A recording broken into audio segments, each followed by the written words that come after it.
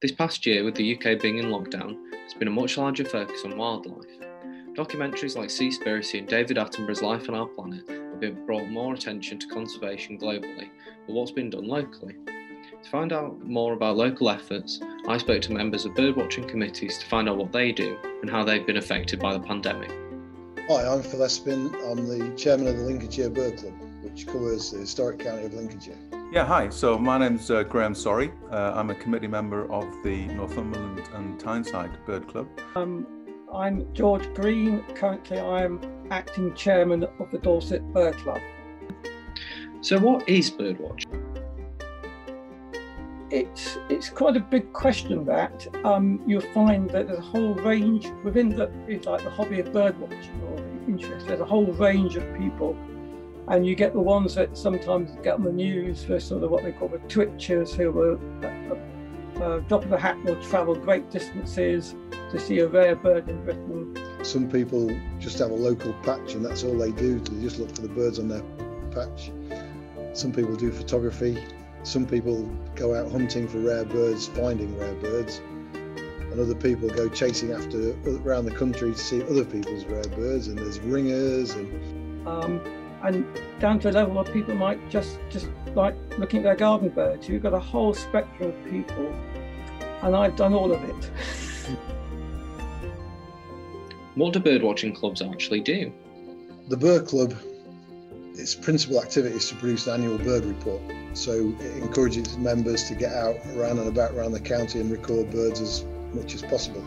Uh, an, an indoor meeting program. So from September through to April, we have a, a monthly indoor meeting uh, where we have a guest speaker talking about some aspect of uh, ornithology, uh, ranging from uh, club members who've been on holiday, who can talk about their bird trips, uh, to um, wardens of uh, various nature reserves, all the way through to people talking quite esoterically about individual species.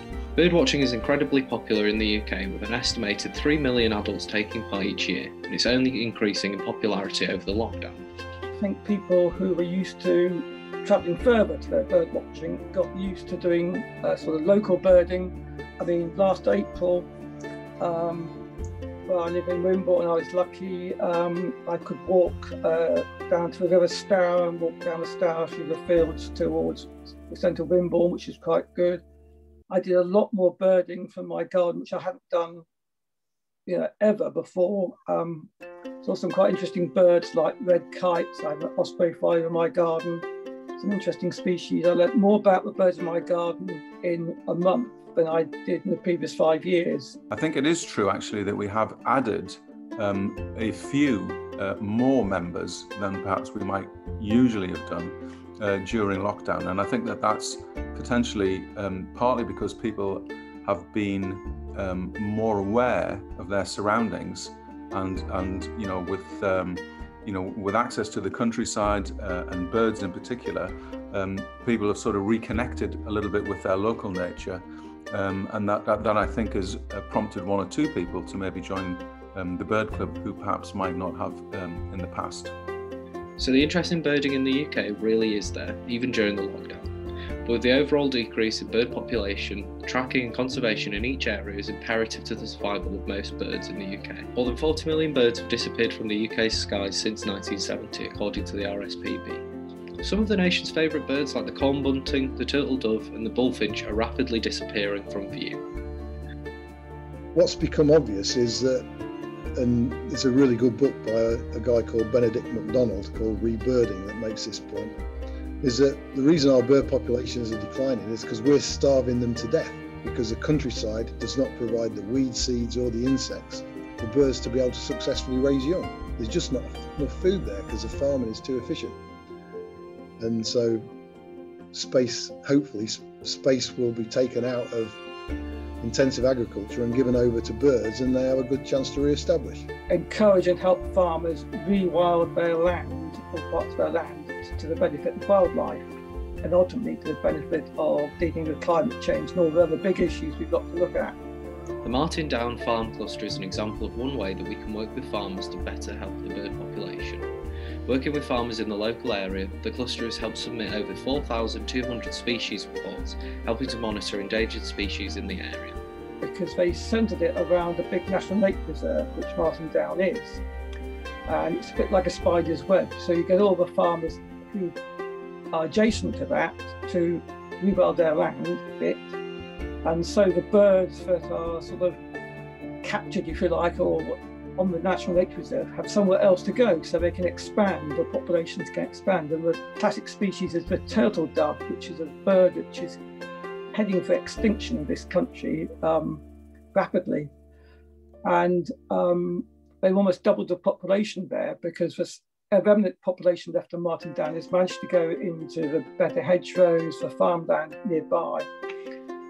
And of course, it sort of like goes on because once you've done that, you can have another farm clustered around that. And you end up sort of going larger and larger areas. So there is a future for conservation in the UK, but we know that a massive step is getting people involved in birdwatching groups. After the lockdown, what does the future hold for birdwatching in the UK? Um, and that's a question that we wrestle with uh, as a committee uh, ourselves, um, because um, well, our primary function is is to you, you know is to further the conservation of, of, of birds, bird recording, um, you know, education of people with birds.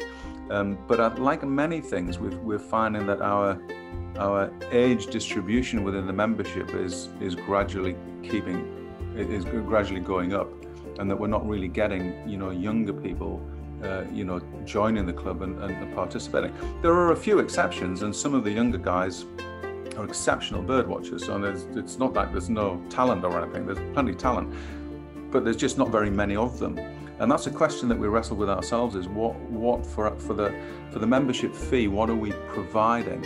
And, you know, and in a world where uh, you know there's bird guides, there's rare bird alerts, there's Twitter, there's WhatsApp groups. You know, what is the what is the draw of people to be a member of the bird club? In the days when you, people could go off to see a rare bird somewhere, and the other people there were white, male, and of a certain age, and there were very few women, and there were uh, not a lot of ethnic minorities there.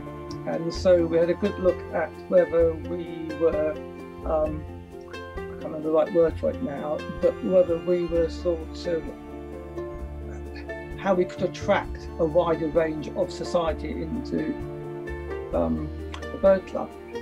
There are so many organisations looking to help aid wildlife in the UK nationwide.